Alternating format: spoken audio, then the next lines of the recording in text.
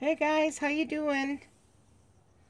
I'm doing good. What I have is these mason jars that have a candle that you can put a candle in and you attach it to the top, okay, of this mason jar. And I'll show you one that I haven't poured on already.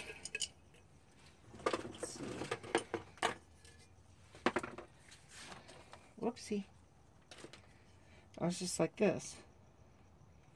And then have the lid comes off. And that candle slips in there. So I thought that would be pretty, you know, pour painted on with a candle in it.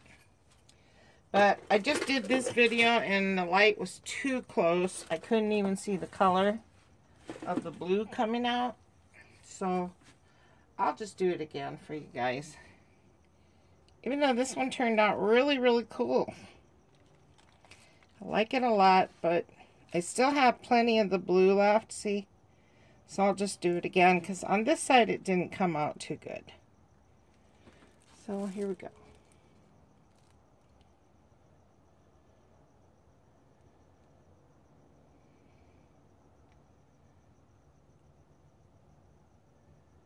And I want it that dark ultramarine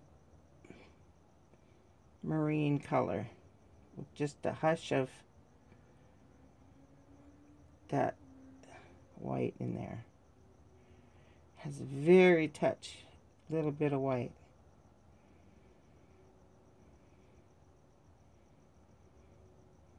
Okay.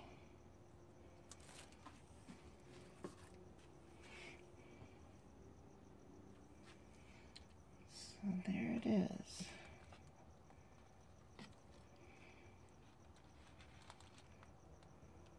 Now it's prettier. Has more design in there. That's cool. I like that. I like that side.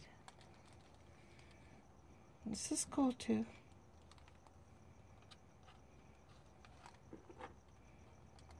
Oh, that's cool. So this one turned out pretty good now. Now it is cool all the way around.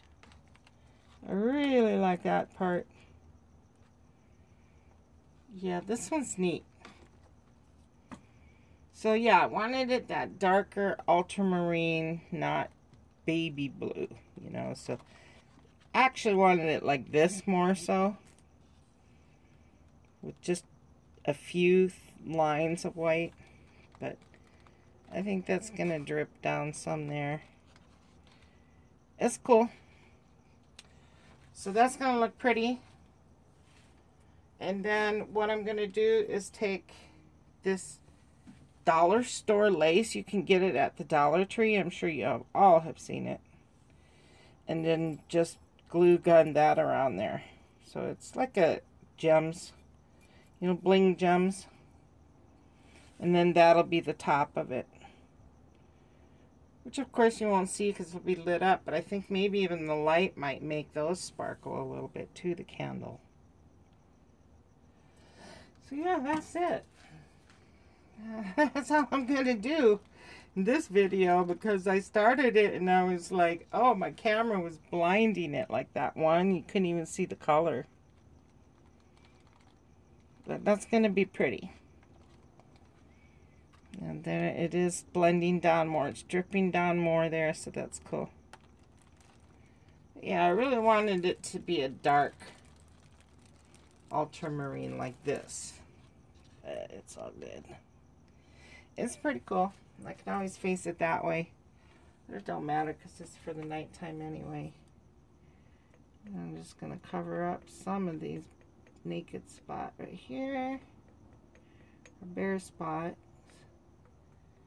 That's it. So that's the fun. Thanks, Naomi for showing me this good idea. I forgot I had all these. I still have three of them, actually. Uh, what I had done with them is, if you're watching, this is what I was talking about. I take those little gems, and I would glue those around the glass, too, with the hot glue gun.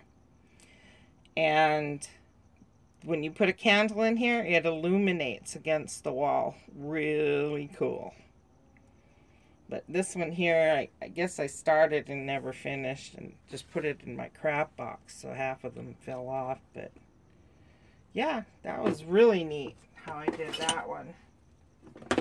Alright guys, thanks for watching. Just thought I'd involve you in on this one. It's looking prettier now. That's exactly what I wanted this nice hint of ultramarine. Very beautiful blue. That is looking good too. I'm loving it. Lots of design in there. That's cool. It has that zigzag going all the way up, kind of goes upward. And then it comes down here in the dark. This is cool. All right. Thanks for watching, guys. Take it easy.